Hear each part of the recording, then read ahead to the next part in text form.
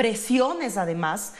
Se ha roto totalmente el Estado de Derecho y el debido proceso, eso ya lo hemos alertado al mundo entero. Tenemos un preso político en el Ecuador, que es Jorge Glass, y eso ya dio para un debate sobre el tema de la judicialización de la política en el Ecuador, que aquí estamos hablando además de un caso en el que sin ninguna prueba se está involucrando al ciudadano Rafael Correa, expresidente de la República del Ecuador. Y que sepan ustedes que este caso ya fue juzgado en el 2012 en Colombia.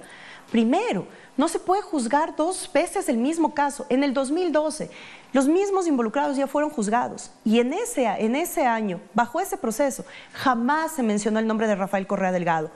Hoy, retoman este proceso en enero del 2018, seis años después, cambiando las versiones de los involucrados y ahora sí involucrándolo directamente a Rafael Correa. Después de que cinco años prescribe la pena o el delito, pero porque es ya que pasó además el tiempo. quieren eh, o presentan la denuncia basado en un artículo del Código Orgánico Integral Penal que ya fue derogado por un nuevo Código Penal. Ya.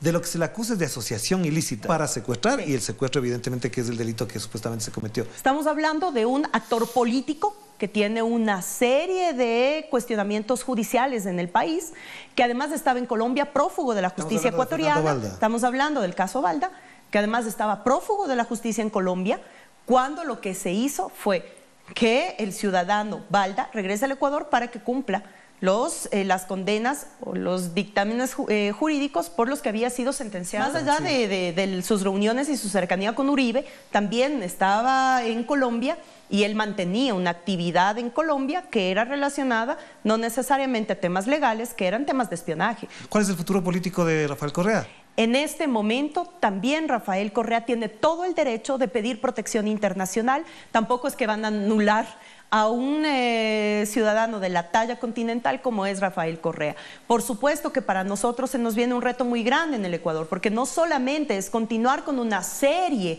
de eh, eh, persecución política a quienes hemos sido parte de la revolución ciudadana a través de los órganos de control, sino también un bloqueo político que estamos viviendo en el Ecuador.